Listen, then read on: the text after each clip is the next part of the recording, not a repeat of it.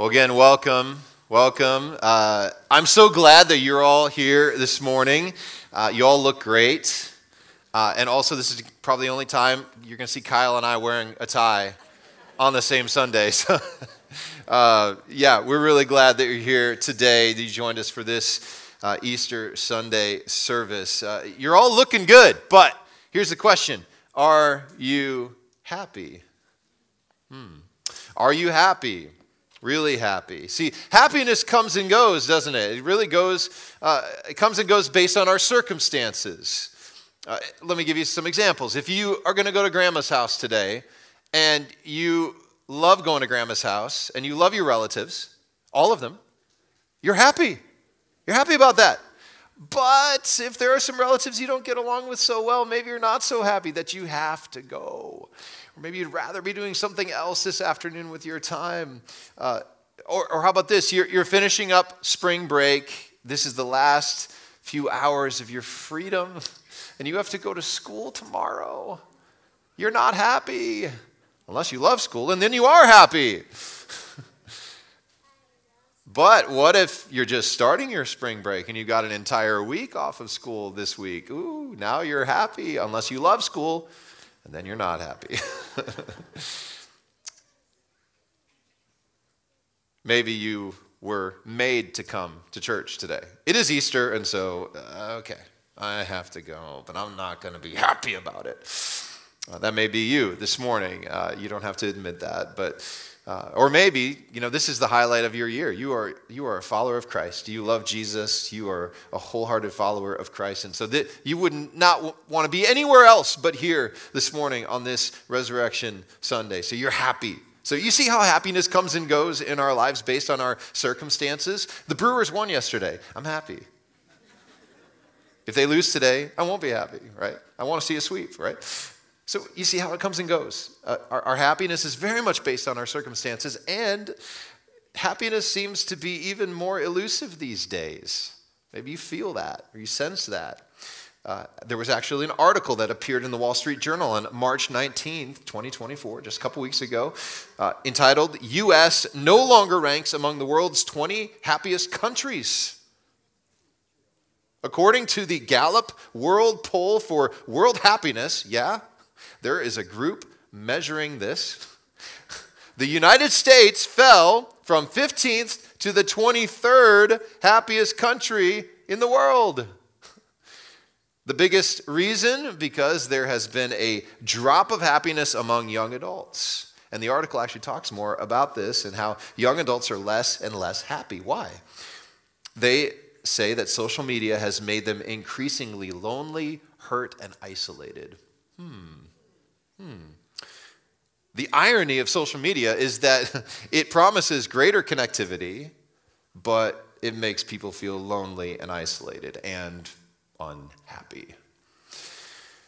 So we live in a culture that promises happiness if we do this, or if we be our true selves, or if we accomplish this, or if we have this new thing or we go to this place, then we'll be happy. Or if we have a particular experience, then we'll be happy.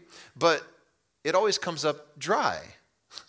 Lasting happiness is not found by looking inward.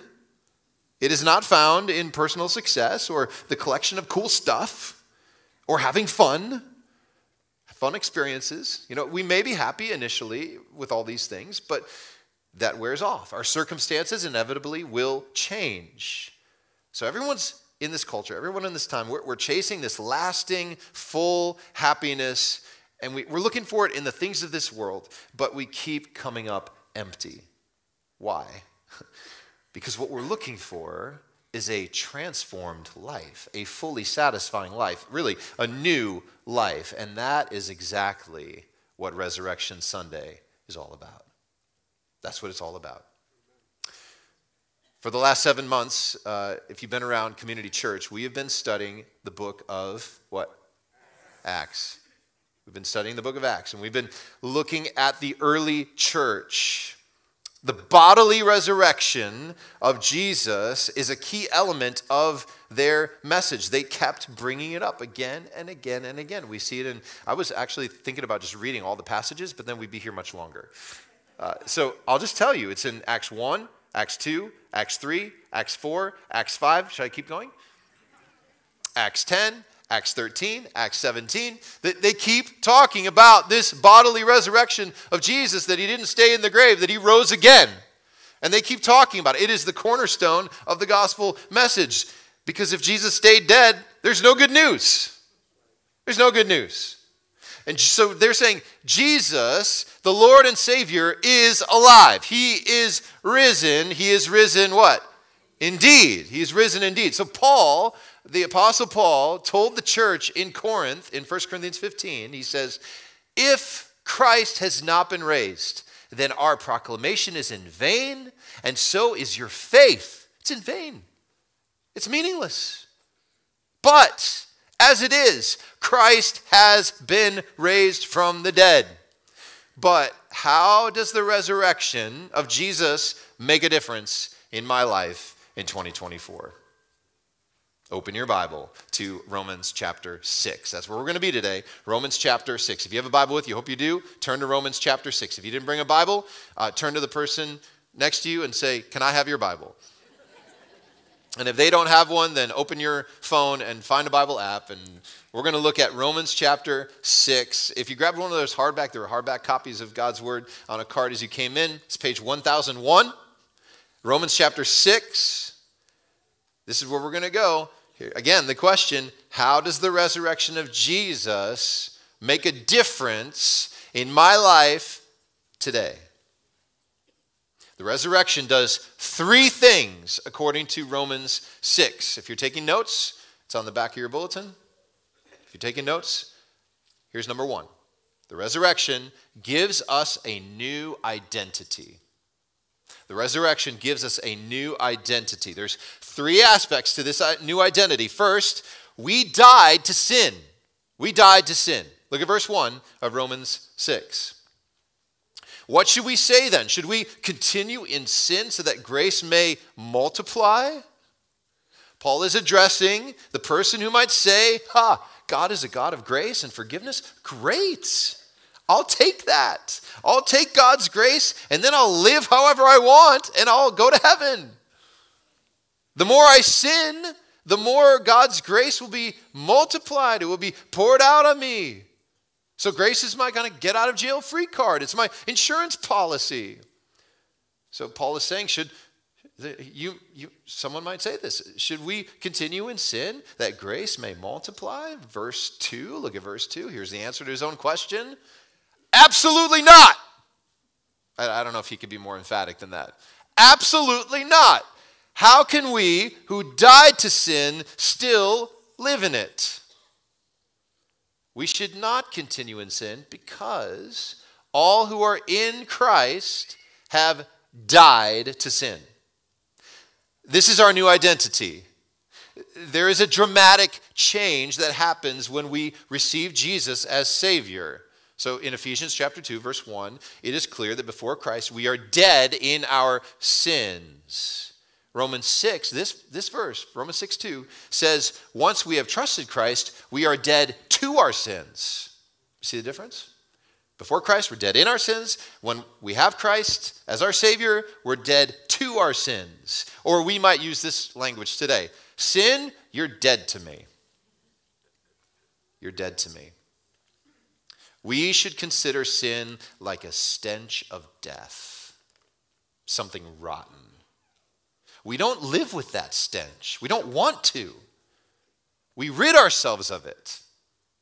Now, I don't know if you were as preparing, you know, for maybe a Easter brunch or an Easter meal today, you're you're doing some cooking, you're doing some preparation of food, and you open your refrigerator and you you you start cleaning it out a little bit, and, and you open your fridge and, and then you realize, uh-oh, there's some some containers in the back. Some food I forgot about. Has this ever happened to you? and you're reaching back there and you're finding things, and then you, oh, I don't remember eating that. and you pull out the container and you open it. Oh, you open it up. It's disgusting. There's like a whole forest growing in there and it smells disgusting. And you, do you eat that? No, it's disgusting to us. We throw it out. We put it down the garbage disposal. We, we get our Clorox out. I mean, we, we just, we totally rid ourselves of it. My friends, listen, this is how we should look at sin. The sin in our lives should be a stench to us. It's like rotten food. Our sin should really disgust us, it should make us sick because it's dead, it's rotten to us. We don't partake anymore. Now, yes, we will still slip. We will still sin, but we, we hate it. We apologize, we repent, we turn from it. If we think, if you think sin is no big deal, then you don't really understand that the old has gone and the new has come in Christ. We cannot continue in sin. That's not who we are anymore. We have a new identity, and our new identity as a Christian is that the old me, that person is dead. That person's gone. This leads to the second aspect of our new identity. You ready for it? Here it is. We are united with Christ. We are united with Christ. Verses 3 and 4. Look at verse 3. Or are you unaware that all of us who were baptized into Christ Jesus were baptized into his death? So let's talk about this. This term, baptized into, this is a, a picture of what has happened to our souls. It also is shown when we're baptized, literally, when we physically are immersed in the water. We're going to talk about that in a minute. But this is the language of union. And we're seeing it, we're going to see it throughout this passage today. Union, united with Christ. We are one with Him. Now, I really want us to get this concept, so I'm going to give us several illustrations of what union looks like. Okay, union with Christ, united with Christ. We see it in sports. So, anybody watching the NCAA tournament? Anybody watching some of those games? Okay, so, okay, only eight people like NCAA basketball. I'm a little surprised about that. But uh, every year, a team loses, and the cheerleader does this. That she was famous last year, I guess. Many memes were made from this gal. I feel bad for her. She was all crying because her team had lost. Why? Why? Because she was united to her team. Her team's loss was her what? Her loss. It was her loss. She was grieving. They lost. Or, or maybe I like this one. This is a, a member of the band. Villanova.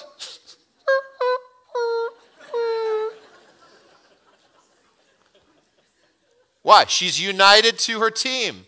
She's one with her team. That when her team loses, she loses.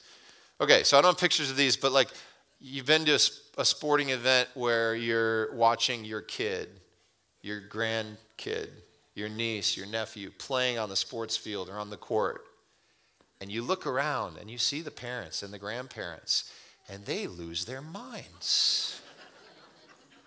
Why? They're because they're united. They're one. They're in union with this child, this grandchild, this niece, this nephew. And when they succeed, the people in the stands succeed somehow. Or when they fail, the people in the stands fail and they lose it. Because we're united. We're, we're one. That's union. Uh, we've, uh, as a family, we've kind of found our way back to the good old game, game Monopoly. And we've been playing it a lot more lately. And uh, this last week, we played a couple times. Uh, we played earlier this week, and I, I, I, actually was able to put together some nice properties. And uh, I was able to build some houses. This is my, uh, this is Adam Land over here. It was a trap. Uh, the community chest is your only hope. Uh, because if you land on uh, the, the one, one of the ones with two houses, you owed $390. If you land on the uh, one where the figure is, it's $1,000. So I was, I was going, going for the win here, right? So my wife landed on, no, oh, that was too early. Go back, go back. Okay. So my wife landed on uh, North Carolina uh, Avenue, and she owed me $390. And her very next turn, listen, her very next turn, guess what she rolled? Snake eyes. Two. one, two. She ended up paying me another thousand dollars. It kind of ruined her. But, and, and I really tried to keep it in. This is me trying to keep it in. Good job, thank you. Yeah. I didn't, I had to be careful. I live with her. Um, and she looked at me and she said, Well, you know, since we're married, your win is my win. right? Is that how that works? Do, do we understand union? Do we understand what this means? Union. What's mine is yours, what's yours is mine. We are in one another. So, this concept of union permeates this entire passage of Romans 6. So, we have to get that. We have to get what God is teaching us here. So, coming back to the text, when, when we repent of going our own way, we put our faith in Jesus Christ alone for our salvation, what happens is we're united with Christ, like a marriage. In a real sense, when Christ died, we died. When Christ was buried, we were buried. And when Christ was raised, we were raised to new life. So, this is, in a real sense, what's happened to us. If you are a believer in Christ, you died with Christ. You were buried with him. You were raised to new life with him. One of the best ways to illustrate that is baptism. So that's why Paul uses this term baptized into Christ Jesus. Paul's audience would have understood what Christian baptism was. That when they were baptized, it symbolized their union with Christ. So when you hit the water in baptism, bam, you've died. When you are going under the water, you're buried with Christ. And when you are pulled out of the water, you are raised with Christ to newness of life. That is a picture of the resurrection. This is why in Galatians 3, Paul uses similar language. Uh, Galatians 3:27 for those of you who were baptized into Christ have been clothed with Christ. So, our union with Christ means we are clothed with Christ and his righteousness. So, we, we have this old self that's like dirty rags, like filthy garments, worn out, ugly, and we rid ourselves of that old self. We rid ourselves of those old clothings and we, we put on Christ in his splendor, his radiant, beautiful, perfect clothing, his righteousness clothes us. We're clothed with Christ. So that when God sees us, if you're a believer in Christ, when God sees you, he sees not your dirty old self, he sees your new self. That is the identity in Christ. He sees the righteousness of Jesus on you, and you are counted as righteous. This baptism picture continues in verse 4. Look at verse 4. Therefore, we were buried with him by baptism into death, in order that just as Christ was raised from the dead by the glory of the Father, so we too may walk in newness of life. Newness of life. So, buried with him. This is union. We were buried with him. We went into the grave with him. And when someone is buried, we know this from experience. If you have someone you love who has died, that person's been buried. There's a finality to it, it's permanent. Commentator Leon Morris puts it this way Christ's death was no momentary faint, but real death death followed by the tomb. Jesus really died, and our identification with that death is also complete. Here it is an old way of life passes away completely. But notice in verse 4, like Jesus, we didn't stay dead, but we were raised with him. This is, again, this is union language. It continues. We were united with Jesus in his death, burial, and his resurrection. That means we have a new life in Christ, a new identity, and the change is dramatic. Once lost, now found. Once blind, now see. Once dead, now alive. The resurrection gives us a new identity. That's the first thing the resurrection does. Here's the second thing. The second thing the resurrection does for us it frees us from the power of sin. Hallelujah. It frees us from the power of sin. Look at verse 5. For if we have been united with him in the likeness of his death, we will certainly be also be united with him in the likeness of his resurrection.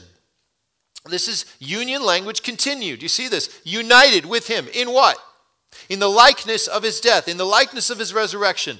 So the old reformer, John Calvin, says, Our death is not the same as Christ's, but it is similar to it, which is why Paul uses the word likeness. It's like that. The likeness of his death, the likeness of his resurrection. So we did not physically die when we became Christians, did we? No. We, we, we die, our old self died.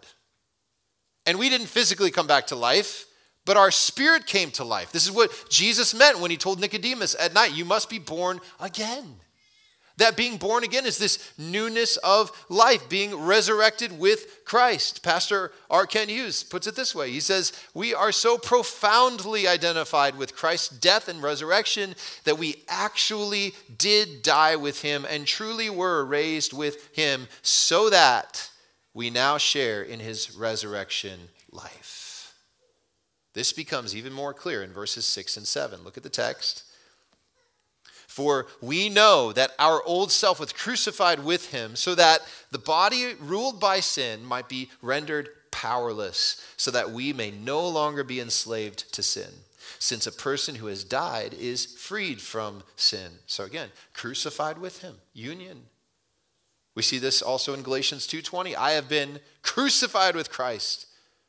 It is no longer I who live, but Christ who lives in me. And the life I now live in the flesh, I live by faith in the Son of God who loved me and gave himself for me. Because we died with Christ and were raised with him, we are freed from the penalty and power of sin. John Stott says it this way God's end purpose is our freedom from sin's tyranny, that we should no longer be slaves to sin.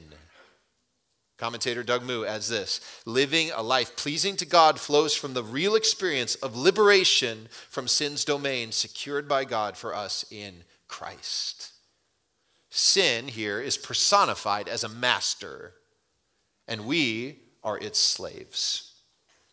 But since we have been crucified with Christ, since we died with Christ, we were raised to newness of life in Christ, we are no longer slaves to sin.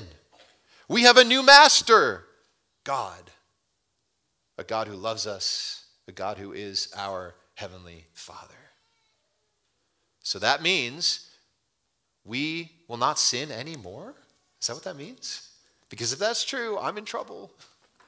Because I still sin, you still sin. Even after we know Christ, even after we're died with him and raised with him, we still sin, we still fall, we still falter. In Christ, we are freed from the power of sin and from the penalty of sin, but we still struggle with the presence of sin, don't we? All of us. We still struggle with the presence of sin. It's a lifelong battle, lifelong struggle. John Wesley once said that sin remains even though it does not reign. Sin remains even though it does not reign. We still struggle with sin. Even after becoming believers, we still deal with the presence of sin, but praise God, we are no longer under the power of sin. We don't have to sin, we are free. Early on in my ministry as a young youth pastor, I remember sitting in a, a meeting where there was a man in our church who was claimed to be a believer, but anger had completely taken over his life. It was ruining his relationships, it was ruining his marriage. He was an angry, angry man. And I remember sitting in this meeting as this young pastor and following the lead of the lead pastor. And I remember what this man said when we confronted him on this anger issue. And he said, Well, this is just who I am. No. No. If you're in Christ, you're not enslaved to the power of sin.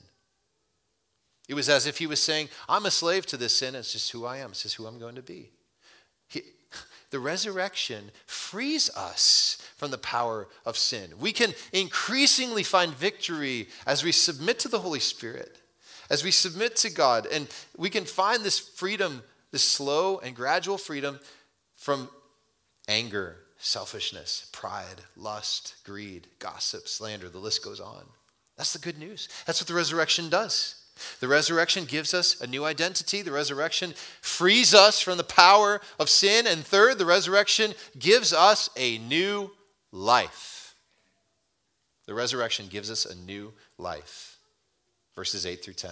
So, what is this new life? First, it is life with Christ.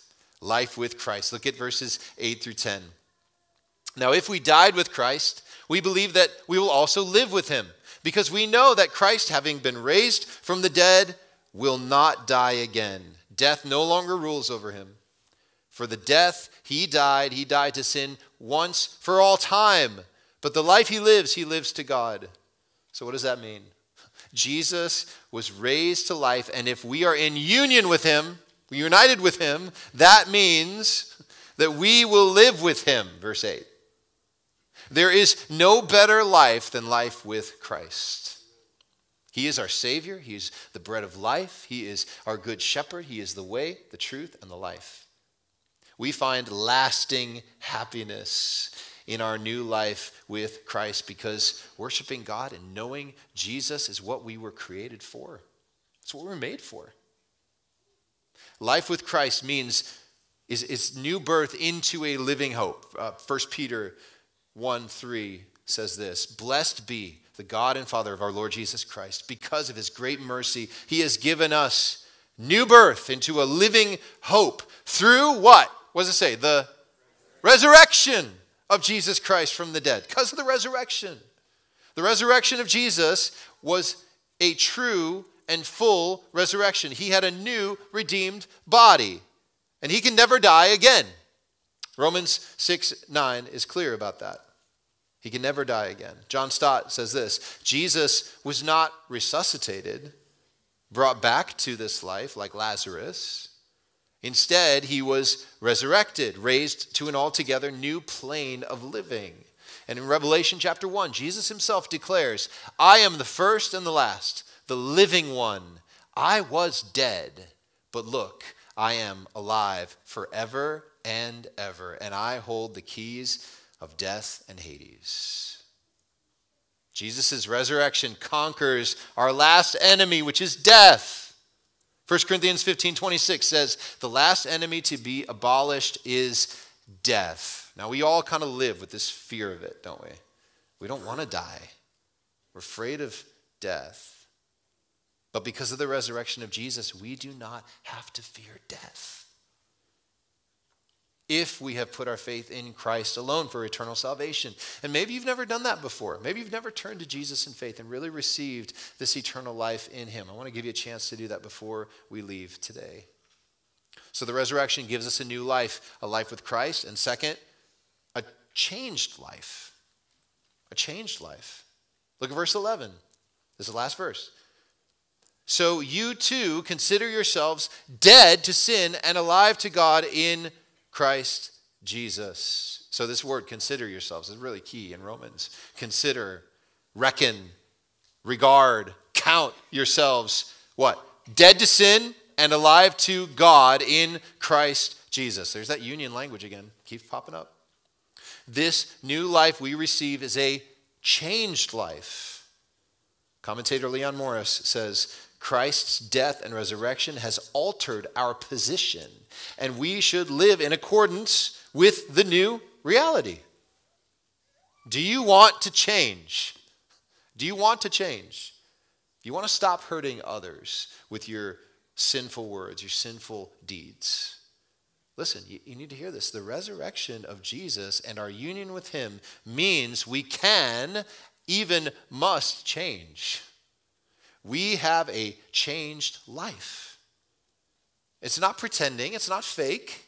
It's real, it's true change from the inside out. I'm a different person now because of Jesus. It's actually odd if I don't change.